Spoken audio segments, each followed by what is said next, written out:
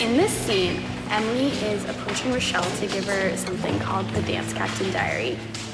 It's uh, it's basically the biggest secret the next step has. Do you guys want to go through the conversation? Yeah, Just to kind of go. Heard about you not making it onto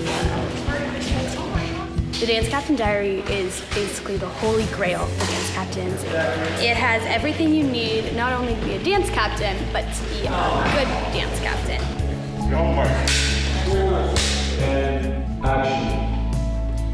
Emily has always had a soft spot for Richelle, and uh, she wants to be the one to hand it to Richelle. So,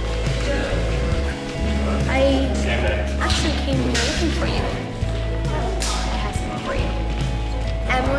Mentors me and teaches me pretty much every lesson that a dance captain needs to know. At regionals, the dance captain is supposed to hand it down to the next dance captain.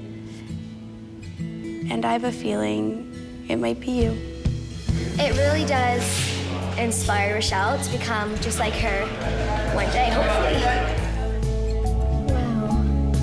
Thank you.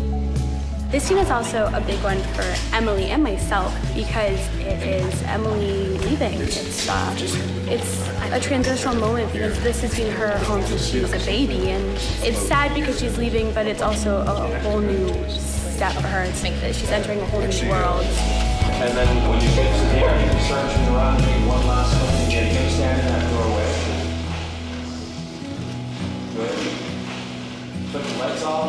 Roll. One more look. Roll.